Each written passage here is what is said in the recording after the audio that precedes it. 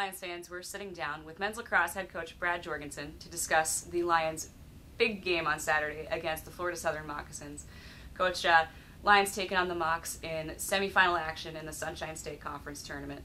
Uh, you know, they're, they're no stranger to postseason action when it comes to conference tournaments like this, but uh, you know, it's a, it's a special one being the first Sunshine State Conference tournament, you know, ever in program history. So, with that in mind, what are your thoughts on tomorrow's game?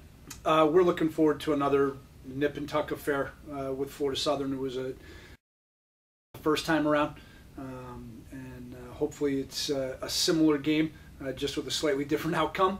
Um, but you know, tournament time always ramps it up, and playing Florida Southern always ramps it up, and uh, you know, we expect a good game environment and a, a heck of a battle again tomorrow. All right, it's a little bit different venue this time around. It's going to be actually on campus, uh, on Florida Southern's campus, as opposed to at their off-site stadium. So, with that in mind, how are you getting the team ready for this different venue? Uh, it means we go out and take some reps on the grass today um, instead of just the turf. Uh, and uh, you know, other than that, you, you don't really change much. Um, it'll probably uh, raise their fan involvement a little bit, uh, having it be an on-campus site. Uh, I've never seen the site. I've never been on the campus, so I don't really know uh, what it's like.